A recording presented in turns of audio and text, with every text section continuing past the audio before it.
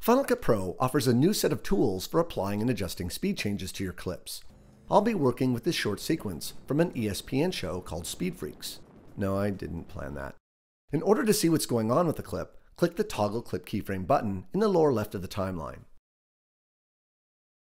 The clip keyframe graph is displayed along with these speed tick marks. There are two types of speed changes you can apply.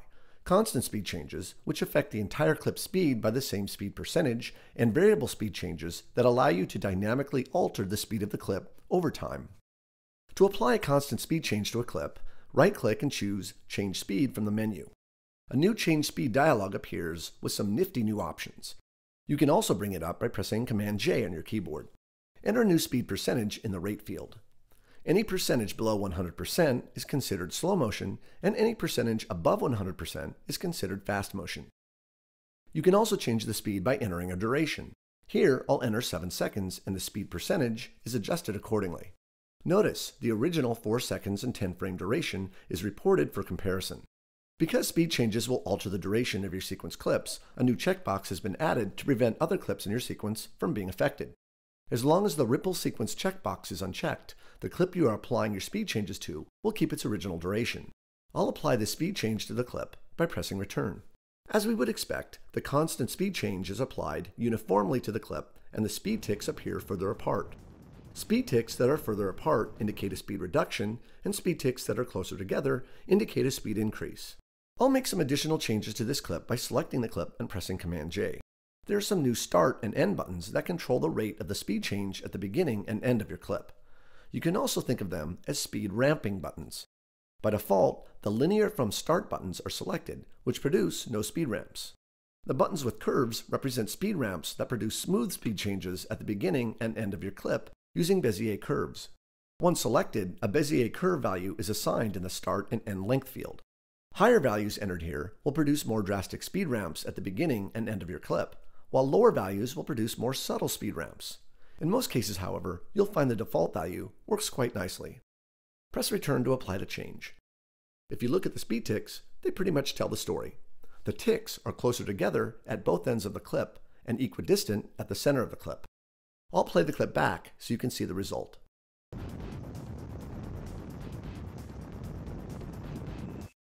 Notice something else.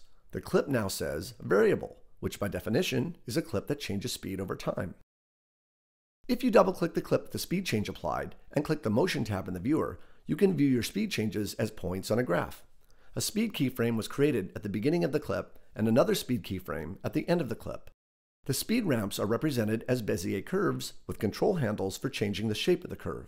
Notice as I dragged upward on the start curve handle, the speed ticks in the keyframe graph move closer together. These handles allow you to customize and essentially shape your speed effects. If you bring up the speed dialog, you can see that the custom button is now selected. This means that changes to the speed ramps have been modified in the motion tab. Also notice the length field has also been updated. Final Cut Pro 7 will also allow you to apply speed changes to multiple clips at once. I'm going to copy the speed settings from this clip, select the next three clips in the timeline, and press Option V to bring up the Paste Attributes window. To paste the copied speed, select the Speed checkbox and press Return. All three clips now have the speed settings from the first clip copied to them, including all the speed ramp changes that were made in the Motion tab. I know that this one feature alone will make a few editors I know jump for joy. Until now, we've looked at applying constant and variable speed changes to a clip using the speed dialog. We'll now take a look at some new speed tools that will make creating and modifying variable speed effects easier than you thought possible. I'll move my playhead to the next clip of the helicopter taking off and play it back. The time it takes for the helicopter to turn around can be reduced using some of these new tools. I'll park the playhead at the frame before the copter begins its turn, then move the mouse into the speed ticks area where it becomes a pen tool. I'll click once to set a speed keyframe at this frame. When you set the first keyframe, three keyframes are actually created. This is because Final Cut Pro must create a start and end keyframe to create speed segments, but more on that in a moment. I'll now move the playhead to the frame where the helicopter has completed its turn, then click to set another speed keyframe. Placing my mouse over the keyframe, a tooltip will appear showing the speed values before and after the keyframe, which currently is at 100%. Dragging to the left increases the speed between the previous keyframe and the one I'm dragging. I'll keep dragging until the speed to the left of the keyframe is just over 600%. Then release the mouse. Notice the ticks between the keyframes are bunched up and the ticks outside of the keyframes are spread out. I'll play this back so you can see the effect. Not bad, but we can make this effect even better with only a few minor adjustments. Now here's where it gets really interesting and really cool. If you look at each keyframe's placement, they essentially divide the clip into segments. Segment 1 falls between the first and second keyframe, segment 2 between the second and third keyframe, and segment 3 between the third and fourth keyframe. Segments allow you to make speed alterations to the clip without affecting other segments. Let me just tell you, this is huge. Let's say I wanted to change the speed of the first segment. Right-click on the speed ticks in the first segment and choose Change Speed Segment. The Change Speed Segment dialog appears and looks similar to the first speed change dialog we looked at, but with one major difference. Because variable speed effects never affect the clip duration, the Ripple Sequence button will not be available. Also notice that the duration that is reported is just the segment duration, not the entire clip duration. I'll enter a rate value of 150%. By pressing Tab, the duration field updates with a new segment duration based on your entered speed. Press return and the 150% speed is only applied to the first segment. The other segments maintain their original speeds. Let's take a look at the effect. Let's make another segment change. This time, I'll right-click on the speed ticks in segment 2 and choose Change Speed Segment. As you can see, this segment is much shorter in duration than the previous segment due to the extremely high speed percentage applied to this segment. I'm not interested in changing the speed, only how the speed ramps in and out of the segment keyframes. Selecting these buttons will create Bezier handles on both sides of the keyframe, which will smooth out the transitions coming in and out of the speed segment. Let's take a look at the change. There are also some really useful modifier keys that will help you refine your speed effects. If you hold down the Option key and drag on a keyframe, you can slip the media underneath. As you drag, the canvas becomes a 2-up display. Here, I'm option dragging the end keyframe of the second segment to the left in order to make the helicopter complete its turn earlier. The frame on the right displays the updated frame as you drag.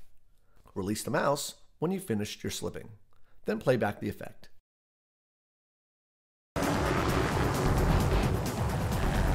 Another useful modifier key is the Shift key.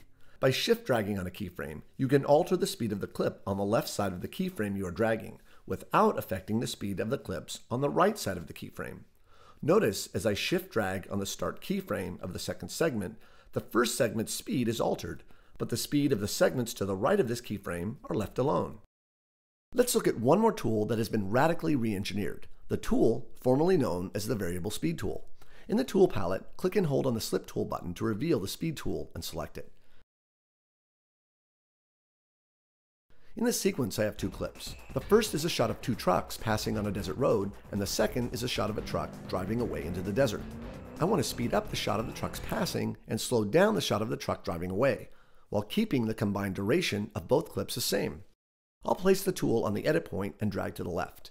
The canvas becomes a 2-up display, just like you get when you're using the rolling edit tool. Also, a tooltip appears to inform you how far you have moved the edit point from its original location. When I release the mouse, the first clip has been sped up and the second clip has been slowed down.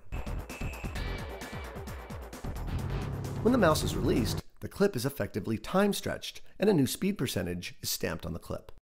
If much of your editorial work involves changing the speed of your clips, you're going to love these new speed tools. They're easy to use and most of all, fun to work with. I'm Steve from Ripple Training. Thanks for watching.